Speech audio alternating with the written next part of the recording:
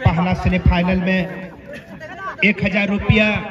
अगर आप रिटर्निंग गोल करते हैं तो आपको दो हज़ार पाँच सौ रुपया मिलेगी।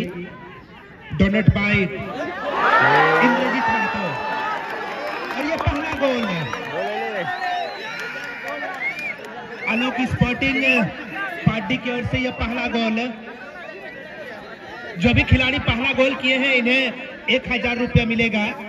अगर आप रिटर्निंग गोल करते हैं, अगर आप रिटर्निंग गोल करते हैं तो आपको पच्चीस सौ रुपया मिलेगा। शत्रुघ्न सिंह, मुखिया प्रतिनिधि।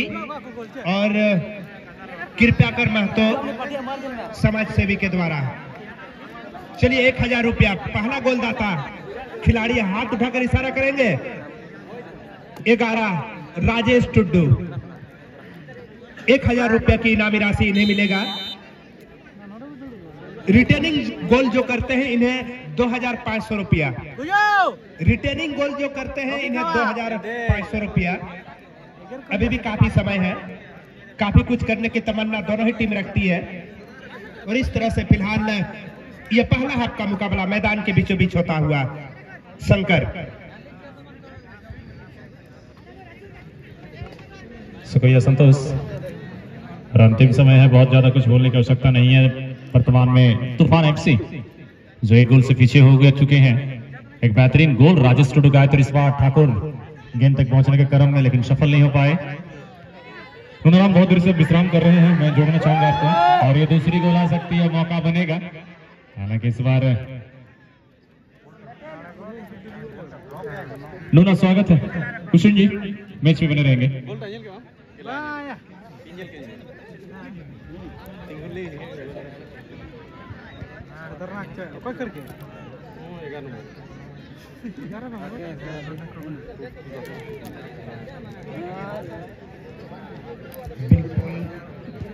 बिल्कुल, पहला सेमीफाइनल के तौर पर, अलोक स्पोर्टिंग पार्टी बनाम तूफ़ान एफसी के बीच मुकाबला चलता हुआ इस मैच पर राजेश टूडू का हुआ गोल फ़र्क बना है। बिल्कुल एक एक गोल की बढ़त बनाकर यहाँ पर खेलते हुए अलोक स्पोर्टिंग वही इक्वलाइजर की तलाश होगी यहाँ पर। तूफ़ान यहाँ पर सुनील के लिए मौका बन सकता है। बेहतरीन गेंद नतीजा बिल्कुल यहाँ पर अपनी टीम के लिए अहम गोल दागते हुए सुनील लोहार। यही तो खासियत है सुनील लोहार का। बिल्कुल 2500 यानी 2500 रुपया के हकदार हुए हैं। बिल्कुल लाजवाब खेल कमाल का प्रदर्शन तबा तोड़ खेल का नज़ारा यहाँ पर देखने को मिलता हुआ। अलोक स्पोर्टिंग बनाम तूफ़ान एफसी के बीच और अच्छा असिस्ट देखने को मौका मिला, विकास नायक का। एकदम वन वर्सेस वन में गोलकीपर के साथ नज़र आ रहे थे यहाँ पर सात नंबर के खिलाड़ी। वंडर बॉय सुनील ने एक इक्वलाइजर मोमेंट उन्होंने बनाया अपनी टीम के लिए। फ़िलहाल सेट फ़िश किक एक अतिरिक्त किक मौके ज़रूर मिलेंगे इस वक्त यहाँ पर पार्टी टीम प्लेयरों को। ये पहला ऐसा मौका बना है। एक सुनहरा अवसर बनी है। तो यहाँ से अगर हुसैन जी हम तो साहब के साथ हम चर्चा करें मुकाबला के दरमियान में, जब वर्तमान समय में ये अतिरिक्त राजेश टूडू जो कि पहला स्कोर उन्होंने, दागे ज़रूर था।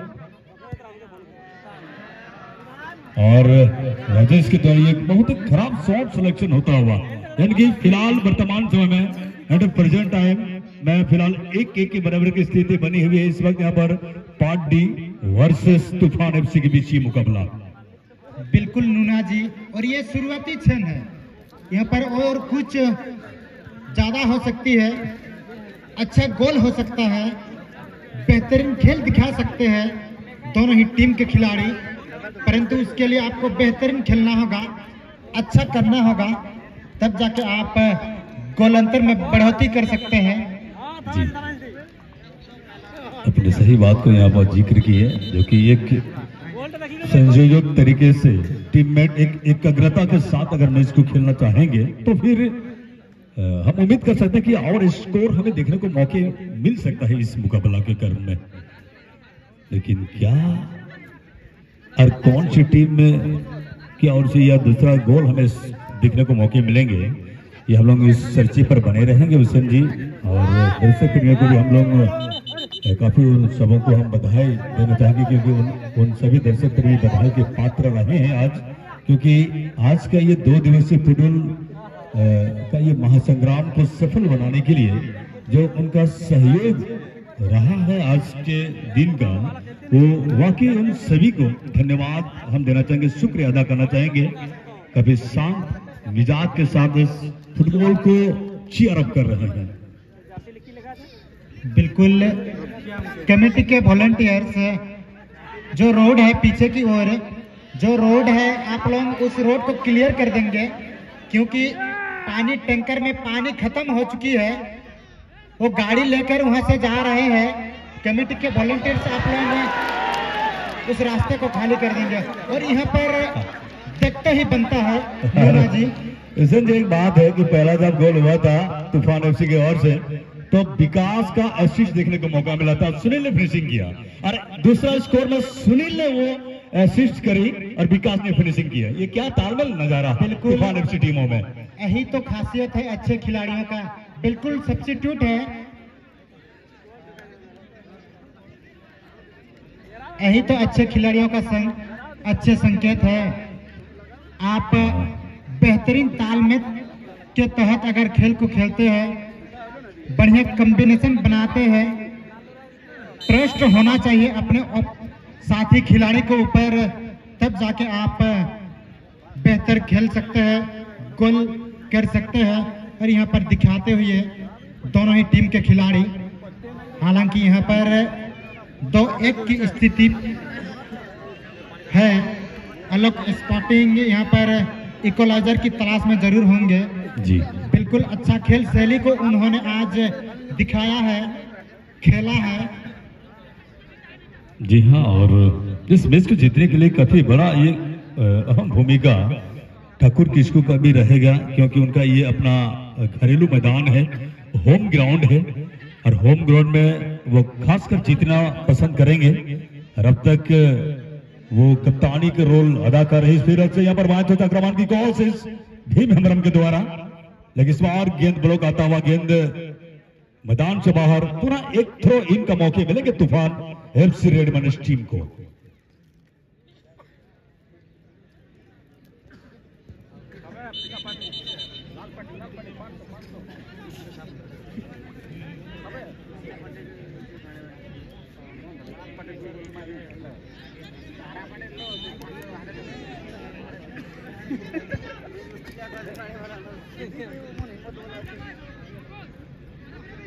बिल्कुल पहला सेमीफाइनल आलोक स्पोर्टिंग पार्टी बनाम तूफ़ान एफसी के बीच खेल चल रही है। कल आठ बजे से खेल होगी। बिल्कुल कल आठ बजे से खेल शुरू हो जाएगी। पहला मुकाबला के लिए आएँगे जय तारा बनाम रियल फाइटर। आठ बजकर, आठ बजे से ये खेल होगी। आठ पैतालीस तक वही सेकंड मैच लेकर आएँगे। वीर दिसम सांगे पोहा बनाम डीटी रांची। ये मैच खेले जाएँगे आठ बजकर पचास मिनट से। बिल्कुल नौ बजकर पैंतीस मिनट तक ये खेल होगी। वही सोरेन टाइगर बनाम, बेसरा बाज़ार भास्को नगर, लोखंडी बनाम के बीच होगी। ये मैच शुरू होगी नौ बजकर चालीस मिनट से दस पच्चीस तक होगी।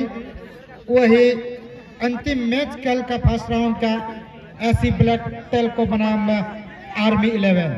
ये मैच खेले जाएँगे दस बजकर तीस मिनट से शुरू होगी ग्यारह पंद्रह तक। बिल्कुल कल पहला मैच खेलने वाले दोनों टीम के कप्तान खिलाड़ी अगर आप लोग आए हैं तो आप लोग इस बात पर ध्यान दीजिएगा।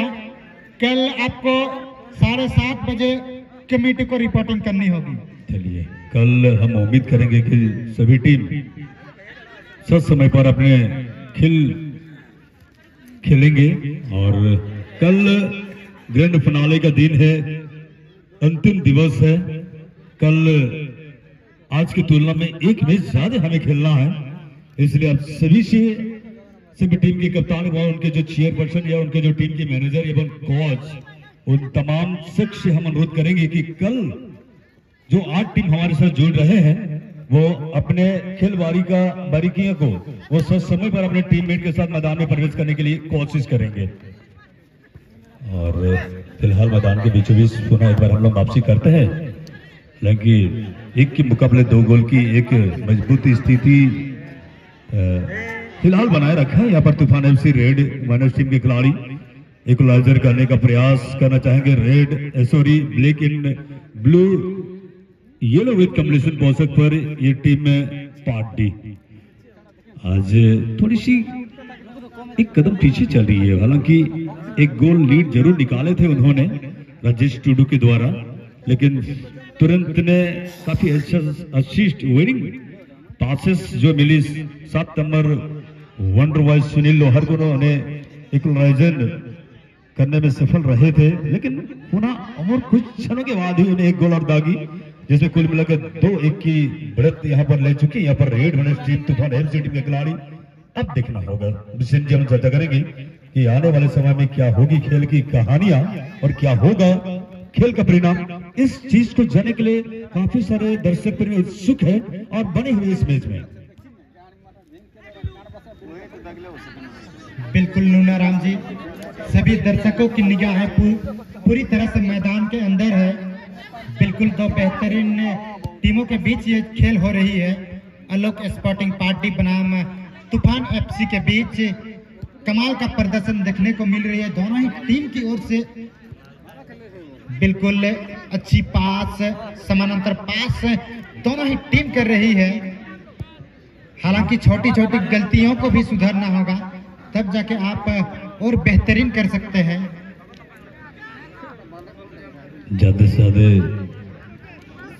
वन टू वन के साथ साथ शॉट ऑन टारगेट पर गेंद को रखना अति आवश्यकता होगी टीम के लिए। जब उनको बराबरी पर लाना है उनको, तब फिर एक बेहतरीन शॉट लानी होगी और ज़्यादा से ज़्यादा स्ट्राइकर पोजीशन के खिलाड़ी के साथ उनको खेल खेलना होगा। की प्लेयर को ढूंढ निकालना होगा। एक अच्छे पोजीशन पर गेंद डालनी होगी, तब जाके ये स्कोर टीम को मिल सकती वरना काफ़ी उलझते हुए नज़र आएँगे मैच के दौरान। फ़िलहाल थोड़ा सा आपसे सर पर टकराया है और साफ़ ये इशारा करते हैं मैच आकाश रंजन राउत